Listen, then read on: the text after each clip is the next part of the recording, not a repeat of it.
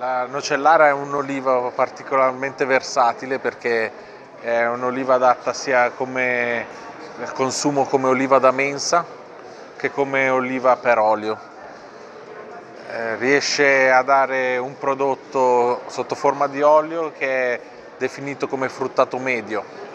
Fruttato medio significa che ha livelli di piccantezza e fruttato e amaro diciamo eh, abbastanza percepibili ma non così eh, presenti da coprire i sapori di un'eventuale pietanza. Infatti eh, il suo uso, appunto come sia qui da parte lo chef può confermare, il suo uso può essere sva su svariati campi, dal, dal pesce alla carne, in genere non rossa ma, ma può anche partire dall'antipasto fino al dolce perfino.